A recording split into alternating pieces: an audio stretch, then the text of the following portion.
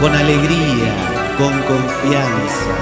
Entremos en la barca que es la iglesia, porque tenemos un gran capitán que es Jesús.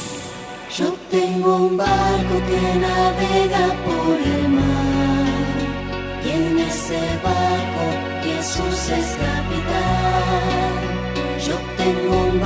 Que navega por el mar Y en ese barco en ese barco Jesús es capitán. los Los pescadores que en ese barco van tendrán las redes llenas. redes llenas por ese capitán. Los pescadores que en ese barco van tendrán sus redes llenas por ese capitán. Todos juntos ahora.